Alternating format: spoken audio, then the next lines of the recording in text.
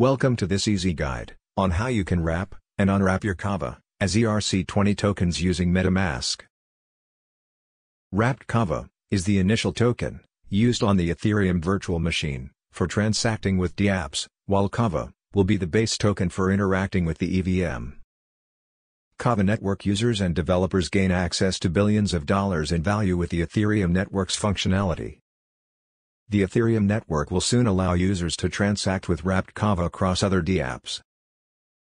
Kava can be easily wrapped and unwrapped as ERC20 tokens using MetaMask. Wrapping Kava The following will guide you on how to wrap Kava tokens using MetaMask. Step 1. Install MetaMask extension on your browser. Create your new MetaMask wallet if you haven't done so, go to the Wrapped Kava web app page, which can be found at app.kava.io. Step 2. Click Connect MetaMask to connect your MetaMask under the Kava tab on the web app. Step 3. MetaMask will prompt you to add Kava EVM network information to the wallet. Step 4. After connecting your MetaMask wallet, it will ask you to deposit native Kava tokens into the Kava address, derived from your EVM address, by clicking Deposit Kava. You can deposit your Kava from a personal wallet. Using an exchange wallet is not recommended at this time.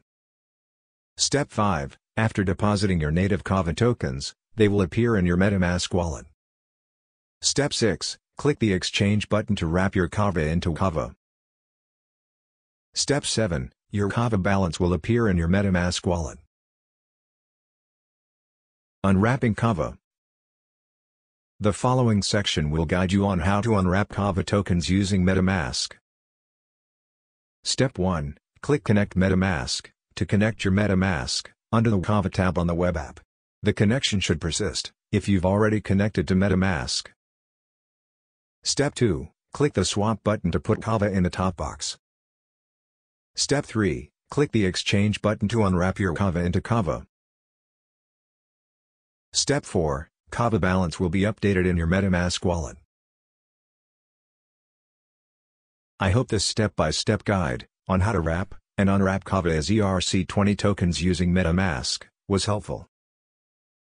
Please like and subscribe for more videos on Kava Crypto and DeFi.